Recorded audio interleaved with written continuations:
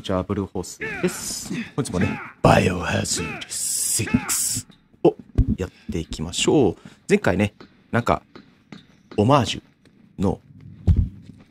戦いを繰り広げてね、なんとか、あー、ウスタナクを陽光炉に沈め切ることができましたが、えー今回はね、もうジェイク編ラストということで、まあちょっとね、ラストね、あのー長いんですよ。いつもあのエンディングテーマがバーって流れるところがね。なので、あのまあ、そこを踏まえてちょっとパートをあえて区切らせていただいたっていうところだったんですけど、なんか前回パートごめんなさい、ちょっと映像じゃないや、あのゲーム音声と実際の喋ってる音声が、なんか若干あんまりバランスが取れてなくて、すっごい汚い感じに聞こえてしまってるんで、か聞きづらくなってしまったんで申し訳ないです。今回多分ちょっとうまく調整できてるかと思いますんで、えーご了承いただけたらなと思います。はい。普通このなった瞬間に立ってられないと思うんだけどね。であと、ごめんなさい。えっとね、1個やっちゃったんですよ。あのね、これ今パート52かな？だと思うんですけど、パート50なんかうまく上がってなくて、しかも元の動画もちょっと夜の都合上消しちゃったっていうのがあるんで、なんか、チャプター4終わって、いきなりあの、シェリーのおへそを見るシーンから始まるんで、あの、な、何が起こったんだっていう感じなんですけど、だからちょっと、1日分抜けてしまってるんですが、そこはちょっとご愛嬌ということでお許しいただけたら嬉しいかなと思いますね。はい。ちょっと、早速後ろから迫ってきてますけど、うん。これでも楽ですわ。あの、だいぶパソコンでやるの楽？この操作に関しては。あの、なんだっけな？えっと、もともと PS3 でやってたんだけど、PS3 でやってた時は、あの、え、え L、LR だったかな？の、どっちも押さえながら、で、L があったら L を押さえながら、あ、じゃあえ R を押さえながら L を連打して、R を押さえながら L 連打して、L を押さえながら R を連打してってやらないと、なんか飛んでっちゃう仕様だったんですよね。あの、クリス編じゃないや、レオン編のあの飛行機のやつとかもあるじゃないですか。飛行機とか、あの、エエレベーター登っていくやつ、エレベーターの紐登っていくやつ。あれなんか、これクリックするだけで別に片方離してても問題ないからすげえ楽。うん。これなんか、よくよく見てたらなんか、なんか、バックしてるように見えるよね、後ろのあれがね。おおいい加減目覚めなさい。懐かしいよね。まあそんな感じですね。よっしゃ、じゃあ飛んでった。えーさらに逃げるというところですね。うん。で、まあ今日ね、あの、何の話をしようかなとは思ってたんだけど、うん、まあね、普通に雑談タイムというところでね、で、まあ、前回ちょっとね、あの、かな、前回、前々回かな、かな、悲しいお話がありましたみたいな話をして、あ、そっか、それもあれだ、全部パート5で、パート50で話したんだ、あの、パート50、どんだっけ言い回し変えるんだって話。そうだ、パート50で、ちょっと心ない、あの、話がありましたっていうのがあったんで、パート50消えちゃったから、もう一回改めて話しとくけど、いいシーンだからちょっと黙っときます。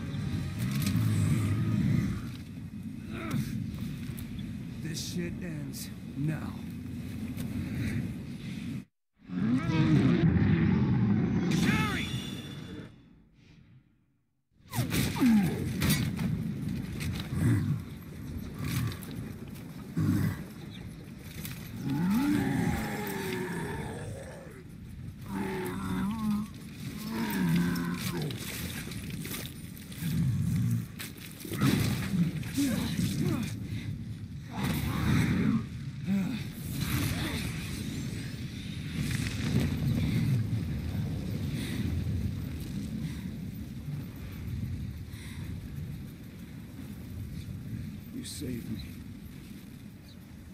You know that, don't you?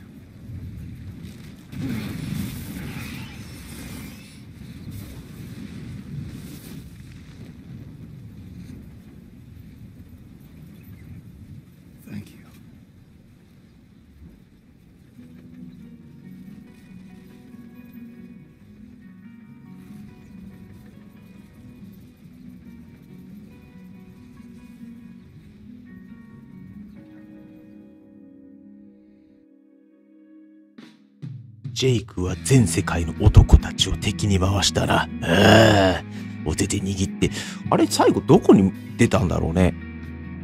地下抜けてってるわけだもんね。どこ行ったのかすっごい気になるけど。まあ、いいや。えっと、あの、まあ、何の話だったかっていうと、あ、ちなみに、えっと、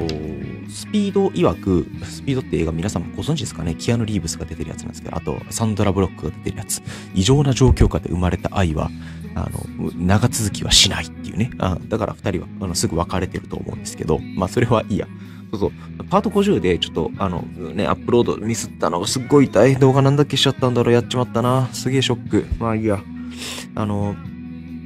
ね、人生相談をこういろんな人にしていただいたわけですよ。ね、人生相談が終わって、あの、パート5じゃない、チャプター5から人生相談じゃなくて、普通にまあ雑談をね、こう、あの、するようになってた、するようにしたんですけど、まあまた質問が来ればね、あの、映画編からとか再開しようかなと思ってるんですけど、あの、ツイッターでね、心ない投稿してくる人たちがいたわけですわ。何かっていうと、あの、お前なんかに相談するやつ、オツとかね、なんかお前なんかに相談するやつなんかいねえよって言ってね、あの、やって、言言ってくるね、ツイッターのね、心ない人たちがいたんですよ。直接 YouTube にコメントしてこいやとかって思ったんですけど、うん。まあ、あんまりその相談事を YouTube にね、あの、ポンと載せるのって、まあ、まだまだそこまでは僕は信用いただけてないのかなと思ったら、まあ、今後も、あの、そこら辺に手こ入れをするチャンスっていうのはあるんじゃないかなっていうふうには思って、まあ、ちょっと前向きに捉えようと思ってるんですけど、まあ、それはいいとして、そのね、あの、そういうコメント、あの、DM に送ってくる人たちね、別に構わないんですよ。構わないっていうか、僕にそういう、あの、ブルーホースは全然ダメとかね、あのお前なんかに相談乗ってもらう価値ねえよとかっていうのはいいいです、いいです。ただ、あの、それを、ね、あの、勇気を持って DM とかね、まあ、あの、直接の知り合いからも LINE とかで、あの、相談とかね、ひと一人女の子とか7個か8個くらい質問くれた人がいたわけですわ。うん、まあそれはいいいいんですよ。あの、で、そういう人たちがいるのも事実なんですよ。また僕にね、あの、相談をしようと思って。で、僕もまあちょっとゲームをやりながらって、一見ちょっと不誠実な感じに見えるかもしれないですけど、それでもやっぱりあの手元をカチャカチャ動かしながら頭フル回転させていろんなことに答えていくって、まあ結構難しい話なんですわ。でそれでも、あの、頭が働く限りは誠実に答えていたつもりなのに、あの、ね、その人生相談を、まあ、ちょっと意を決して、YouTube ってその全世界に公開されてるわけだから、まあ、まあ、日本語なんて日本人しか見ないと思いますけど、そ、そんな中で、あの、一生懸命ね、相談をしてくれた方がいる中で、うん、なんかそういうね、ブルーホースに相談してるやつなんなんみたいなことを言ってくるのは、その相談をしてくれてる人に対してめちゃくちゃ失礼に当たるんですよ。なんかそれがね、ちょっとね、ふざけるなっていう感じですね。言ったら僕のお客さんですわ。僕のお客さんに対してそういうことを言ってると変わりがないので、なんかね、本当に、まあね、あのそういうコメントとか DM とかをしてくるやつほどオツっていうふうにはもう思うんで、まあまあまあ、まあ別にもういいんですけど、そんなのはどうでも。うん。だからそういうことになんか一生懸命になってる残念な人たちっていうのがやっぱりなんか SNS 上だといるんだよね。いるんだよね、こういう奴らってね。なんか、あの、顔とか、あの、ね、名前を出してないから生きれるやつって。で、実際に会ってみたら、なんかもう暗い部屋の中で、あのパソコンの画面をじーっと見て、で、あの、しどろもどろになって、あ、あ、しか言えないような奴らね。うん。実、現実の世界だったら。ちなみになんか、あの、いろいろとその、否定的なコメントとかアンチコメントとかする人たちっているじゃないですか。あれってなんか統計的に見たら、なんか4%とかで2%、まあとにかく1桁とかそれ以下の人間しかいないわけなんですよ。っていうことは、なんか、あたかも自分の意見とか考えが全てのように見せかけてるんですけど、世間一般的に見たら、お前の価値ねえからっていうね。いうくらいの、まあ、しょぼい存在だっていう風にね、あの、言ってる、まあ、話とかもあったりするんで、まあ、それをなんか聞いたら、あ、こいつらに何言われてもなんか全然平気だなっていう風にまあ思えるっていうそんなところじゃないかなと思うんですよね。うん。まあ、あの、なんだったっけな、僕もそのメンタリスト DAIGO さんに感謝の動画、まあどうやったらその、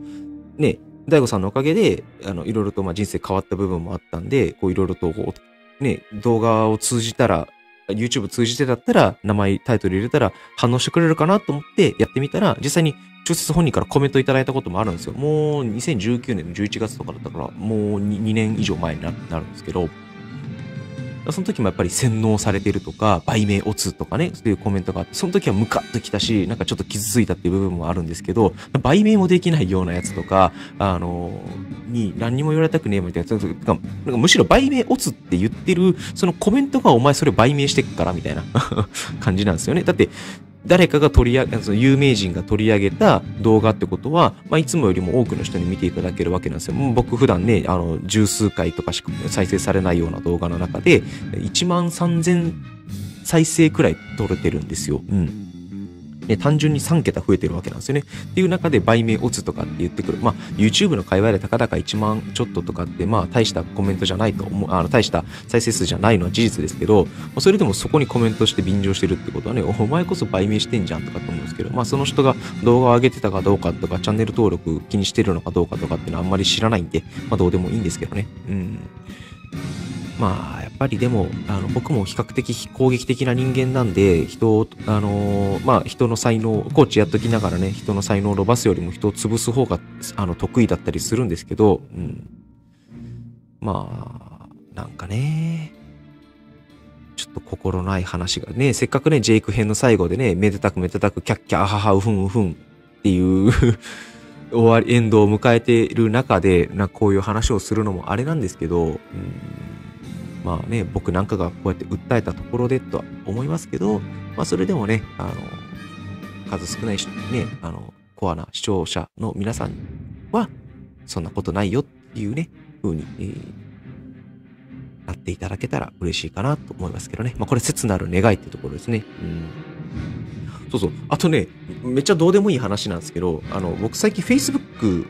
もう、あの、まあ、娘に関する投稿とかをちょちょこちょこし始めたりはしあのしたりはしてるんですよ。あの、まだ小さいんで、1ヶ月に1回の成長記録みたいな感じで残したりとかしてるんですけど、なんかそしたら、まあ、これは、その冗談半分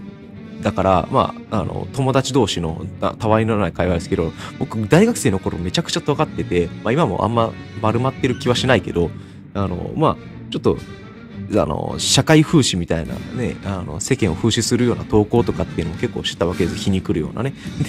で、で、比べると、なんか、それ、その頃と比べると、まあこの幸せいっぱいの投稿ばっかりしてらしくないじゃん、みたいな。ね、ブルーホースお前らしくないよっていうね、こう、なんか連絡が急に入ったりとかして、いやいやいや、それは年齢も10個くらいもう上がってるわけだから、それはその時のね、あの、若気の至りみたいな投稿はしてたけど、それは今はもう幸せいっぱい家庭円満ですから、そういう投稿しますせ、みたいなね。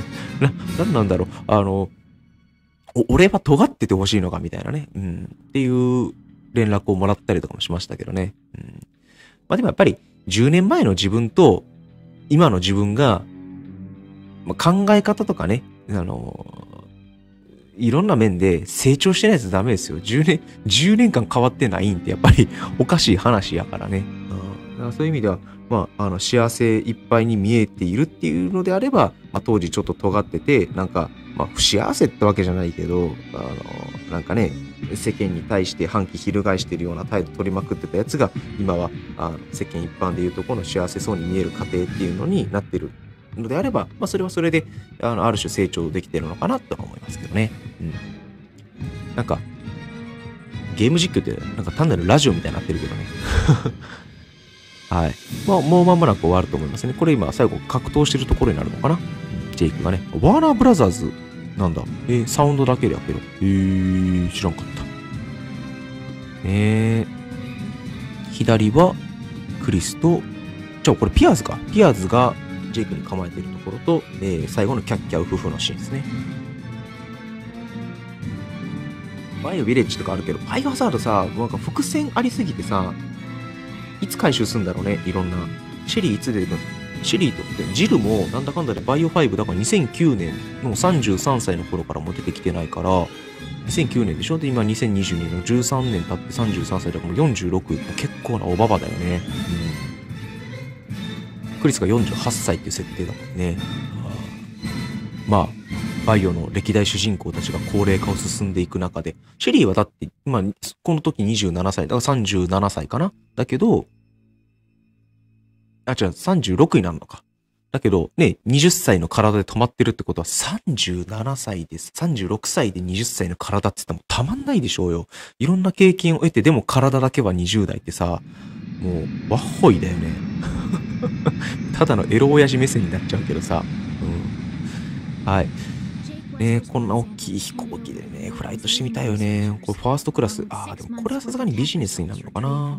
また今度ね、海外行くときはね、まあ、それこそアメリカとかね、ヨーロッパみたいにちょっと遠出行くときなんかビジネスクラスで行ったりとかしてみたいよね。やっぱね、エコノミーは狭いからな。うん。次行くとしたらそうだな、バリ島か、まあ嫁さんがね、イギリスが好きなんで、イギリス、まあ、ハリーポッターが好きだからイギリスに行ってみたいってずっと言ってるんで、イギリス行ってみたいなうん。あとは、フロリダかな。フロリダのディズニーとか。フロリダってユニバーあったんだっけ？覚えてないや。うん。Thank you. すごいよね。おしゃれ。かわいい。はい。てか、服装変わってないんだよね。どんだけの期間経ったかわかんないけどさ、ちゃんと選択してる？ねえ。まあ、そんなことも言いつつ。で、こっからのね、あの、ウェスカーの、あ、ウェスカーじゃない、ジェイクのね、サングラスかけたシーンがすげえ似てんだ。お前も着替えろ選択しろずっと同じ服着てんじゃん。うん。まあ、それはいいや。ということでね、あの、まあ、いろいろと楽しんでいただけたかと思いますんで、また次回ね、今度はあの、エーダ編を始めていこうと思います。で、エーダ編を始める段階で、まあちょっと質問に答えるだけの数が溜まれば、本当に今、ストックがゼロになってるんで、うん、まあある程度落ち着いたのかなと思いますから、まあ普通にただただ実況するだけになるかもしれないんですけど、まあそこら辺はお楽しみいただけたらなというふうに思います。タイトルは前も言ったけど、あの人生相談乗りながらバイオハザード6っていうのをあの続けて、だから次回パート53になるのかな？はい。ね、最後も綺麗にトータル S 取ることもできたんでね、まあ、綺麗な終わりを迎えられることができたんじゃないかなというふうに思います。ということで、本日も最後までご視聴いただきまして、どうもありがとうございました。また次回パートお会いしましょう。さよなら。バイバイ。